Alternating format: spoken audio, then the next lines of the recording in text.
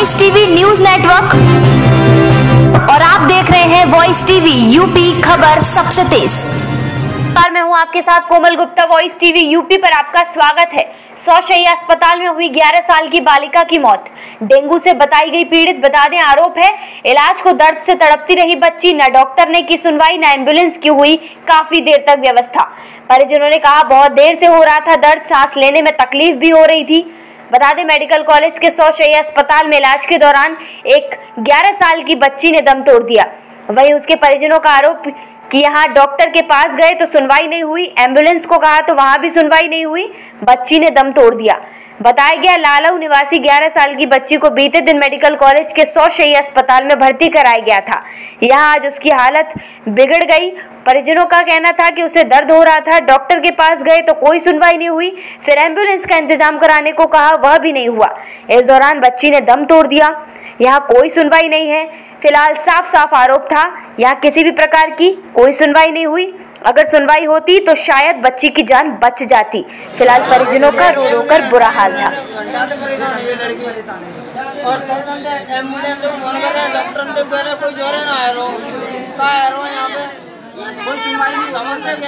कोई देखने नहीं आया। बहुत परेशान रह रही थी। मैं घबरा गई मैंने की देखूँ तो मैंने डॉक्टर से बोला अब हो गई ने। बोले कि मैं हमने रेफर कर दिया डॉक्टर बोले रेफर कर दिया हाँ, है हाँ। क्योंकि के लिए। खून के लिए बोला गया था? हाँ, हाँ। यहाँ खून नहीं मिला? नहीं मिला। उन्होंने बोल दिया रेफर कर दिया हाँ। तो हमने कही गाड़ी आड़ी की व्यवस्था कर दो तो हम ले जाएँगे। वो भी व्यवस्था नहीं की। फिर क्या हुआ बच्ची? घंटा पहले फ़ोन करो तब तक एंबुलेंस ना आई जो रहे। हो और डॉक्टर डॉक्टर से कह रहे हैं डॉक्टर जोरे ना आ रहे बच्चा कहाँ कहा है यहाँ पे? डॉक्टर आई नहीं रहता देखने। कोई ना हो पूछ गए मतलब का परेशानी खाना का मतलब है यहाँ पे? तुम कौन हो मेरा नाम चंद्रशेखर है। क्या हुआ चंद्रशेखर? परेशानी की वजह थी बाकी दर्द वगैरह अब सांस लेने में बहुत ज़्यादा दिक्कत हो रही थी। वो इतनी दिक्कत हो रही वो सांस बिल्कुल नहीं ले पा रही। और तब से फ़ोन में फ़ोन कर रहे हैं? डॉक्टर साहब जी कह रहे हैं सर डॉक्टर के जो रहे आओ तो डॉक्टर सुनना रहे और वैसे एंबुलेंस के लिए फ़ोन कर रहे हैं एंबुलेंस आओ कि आ रहे हैं अभी आ रहे हैं।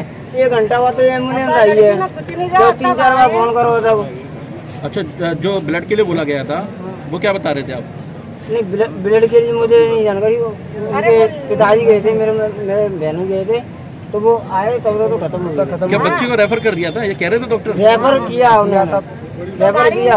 लेकिन रेफर करने का कोई जब तक डॉक्टर पास नहीं है लड़की क्या हालत में क्या नहीं है देखोगे नहीं क्या पता डॉक्टर देखने नहीं आया। कोई नहीं आया पास में।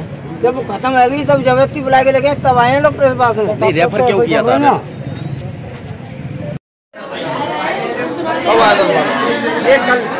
आज खत्म हो गई। हाँ आज डेंगू हो गया तो क्या हो गया था?